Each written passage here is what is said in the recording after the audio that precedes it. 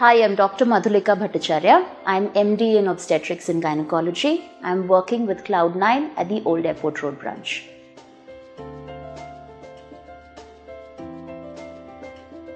There are two types of screening that can be done for gestational diabetes. One is a single step screening, which is known as 75 grams glucose tolerance test. In this, a fasting sample is taken, followed by 75 grams of glucose given to the mother. This is followed by blood sugar sampling 1 and 2 hours later.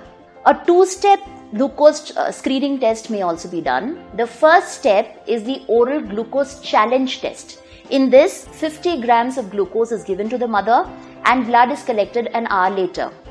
If the report is abnormal, this is then repeated with a glucose tolerance test for confirmation.